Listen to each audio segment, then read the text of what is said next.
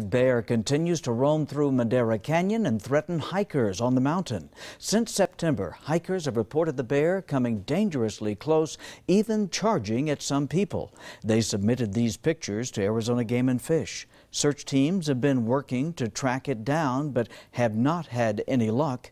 Not on your sides, Jennifer Dela Cruz has more on why killing the bear may be the only option.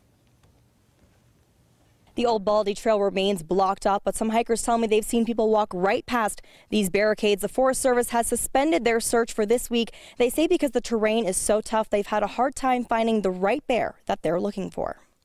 There's a large population of bears in the southern Arizona mountains, but one bear is getting as close as five feet away from hikers. This forced the Super Trail and the old Baldy trailheads to shut down.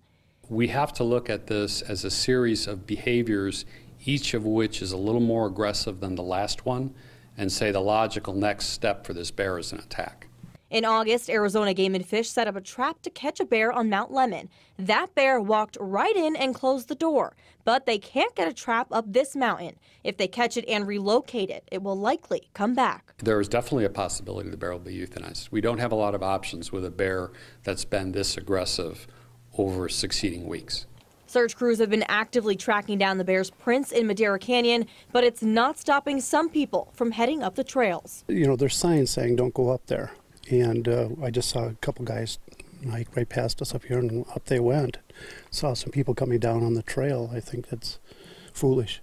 The Forest Service says they're going to reevaluate their plan and likely pick back up on their search on Monday. These trails could remain closed through December when the bears start to go into hibernation. They say the problem with that is if this bear wakes back up in the spring, he could become even more aggressive. Reporting from Madera Canyon, Jennifer Dela Cruz, KGUN 9 on your side.